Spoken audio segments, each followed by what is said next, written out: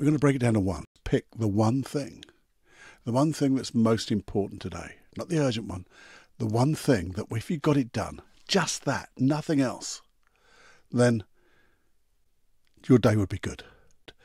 And I know when you get that one thing done, you're going to have so much success. It's more difficult, maybe a little bit more, ooh, but when you get it done, your day is really good. But the thing is, what people don't tell you, they don't tell you? No, they don't tell you.